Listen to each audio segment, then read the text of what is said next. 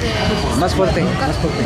Yo me llamo Miguel Ángel, vengo de Iztapaluca y para más o menos algo cuidar el medio ambiente, este, quito la basura de las plantas, barro, barro el patio y esto. Y es todo. No, no, este, estamos viendo que hoy es el Día Mundial del Medio Ambiente. Este, independientemente de qué es lo que haces tú en tu casa, aparte de lo que me acabas de decir, para evitar la contaminación ambiental. ¿Escuchas música? Sí. ¿A qué niveles escuchas tú tu música? Al 12. Como al 12. Como al 12. ¿Sabes que eso te afectaría para tu cuestión auditiva? Sí.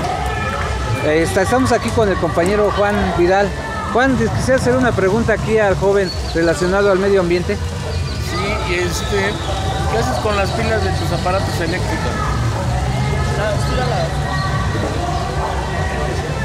¿Las tiras a la basura? Es una fuente de contaminación. Si tuvieras oportunidad de darlas a un contenedor o un lugar para ser confinadas, ¿lo ¿podrías hacer? Sí. ¿Como verías con tus compañeros el que las pilas no las tiran a la basura? Sí. ¿Cuántas pilas utilizas tú en, en promedio de un mes?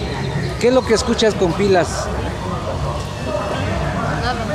¿No escuchas nada? ¿O Radio, no utilizas? grabadora. No. ¿Qué te han enseñado en tu escuela del medio ambiente? Ah, este, a no tirar basura en los jardines, eh, ambiente verde, este, la basura reciclarla, tirarlos en los botes, el plástico en un bote y el papel en otro bote. ¿De qué escuela eres? De la Carlos Juan González, ¿De qué colonia? de Alfredo del Mazo. Iztapaluca. Ok, pues muchas gracias. Ahí estaremos al pendiente en internet para que cheques tu, tu entrevista, ¿sale? Sí.